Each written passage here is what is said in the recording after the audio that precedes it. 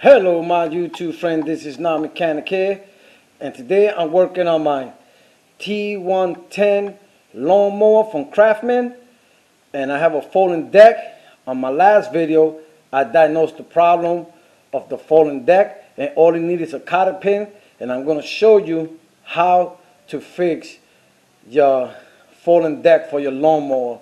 The first thing you want to do is make sure you disconnect your negative cable from your battery and you also put some jack and jack stands and make sure you use gloves and safety glasses.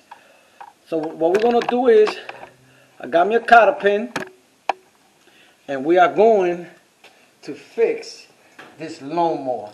Now if you see there's a hole here and you got this bracket here got this bracket right here. It has a hole here.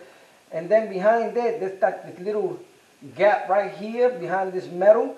This is going to go right in there. Let me see if I can show you that part right there right quick. Right here. You see there's a metal and there's a space in between. Then you got this rod right here. This rod right here has a little hole right here with a cotter pin is going to go out right in there.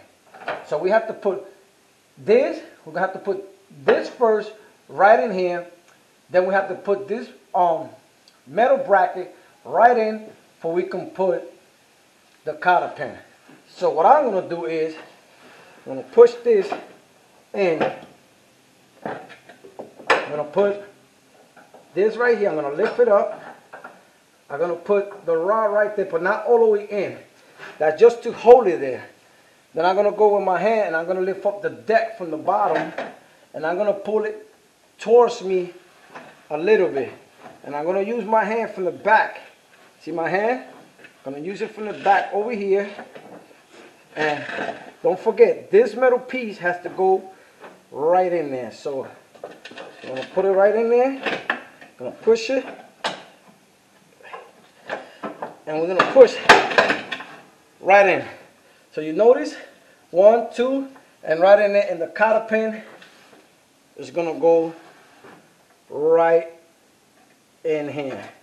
Okay, this cotter pin is a little big, so what I'm gonna do, I'm just gonna cut the cotter pin just a bit, and I'll be right back.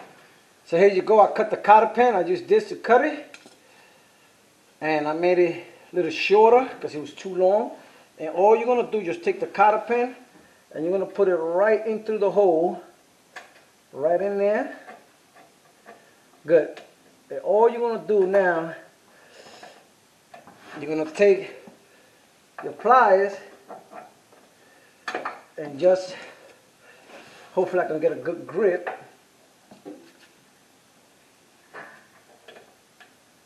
You know what? Let me go get a screwdriver, and with a screwdriver, I'm a, I'm a turning. See I got a screwdriver, and I'm gonna open it. You want to open it and spread them. That's what you want to do. Want to spread them.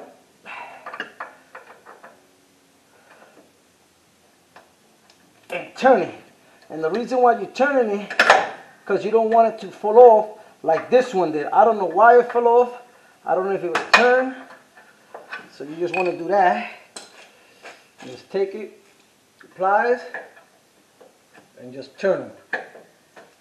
And you just want to tap it a little bit.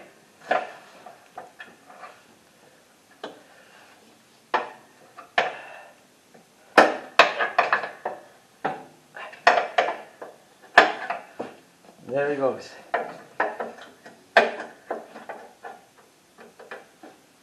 There you go. You see that? See how I turned it? So that shouldn't come off now. This cotter pin should not come off for nothing at all. So it goes the moment of truth. Let's see if it's working. I have to put in the cotter pin.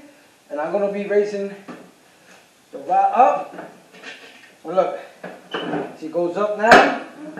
Goes down easy. That's one. That's two. That's three. Four. And five. So there you go. If your deck is falling, check your cotter pin.